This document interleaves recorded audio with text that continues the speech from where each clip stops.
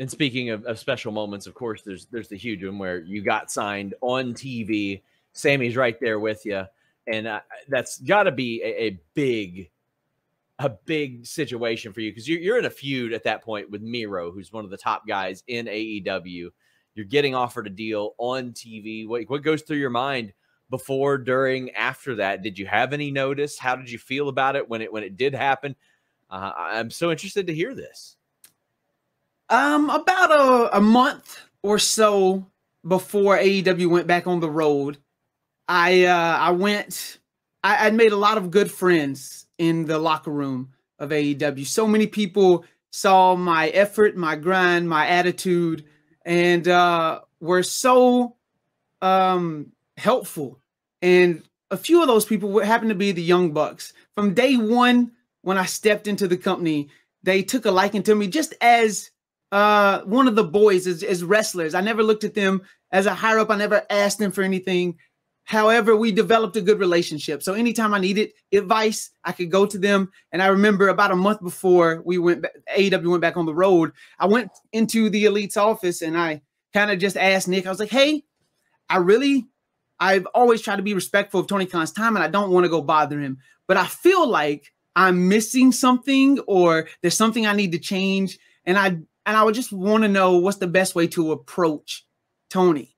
And Nick, being incredibly kind, was like, you know what? I'll go ask him right now. And in the middle of a dark taping, he just gets up, goes out of his office, and immediately goes up to Gorilla and pulls Tony to the side and asked him for me. And it blew my mind, but it also was a testament to how good those guys are and how much work I had put in. And it was being recognized by the right people, I felt like. And unfortunately, the answer I got was just keep doing what you're doing. You know, when the indies pick back up, keep doing your thing. And, you know, the Sammy's vlog has been helping you a lot. So just keep doing that, which is not the answer I technically wanted at the time, but at least it was something. And uh, it was just such a nice gesture by Nick. So uh, I, I kind of had made up my mind at that point that I'm, they're not going to sign me. You know, once Jacksonville's done with, that's going to end my time in AEW.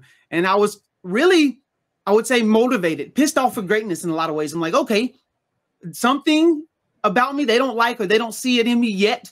I'm going to leave here and I'm going to, you know, take the world by storm and I'm going to make them realize what they did not sign.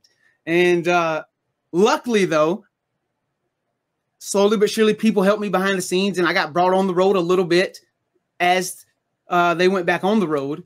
And first ever Rampage they tell me I'm going to wrestle Miro, my first ever TV match. I'd wrestled almost 40 something matches with the promotion, but never on TV. So my first TV match against Miro. And Miro just was so good to work with. He come up to me, he laid out the match for me and was like, we're going to have you do three DDTs. And it's going to, and like, I was so overwhelmed by the moment that I wasn't even thinking that they were going to sign me at all. And like I said, I'll never forget laying there after the match is over and Bryce being in the ring and telling me to stay there through commercial break. And I was like, Bryce, man, how did it go? And he's like, it went well. And I was like, man, it can't get any better than this. Little did I know it was about to get so much better when Sammy's music hit. And, you know, they gave me the contract. It's overwhelmed with emotions. I'll still get chill bumps thinking about it. It was a it was a very special moment that I'll cherish for the rest of my life.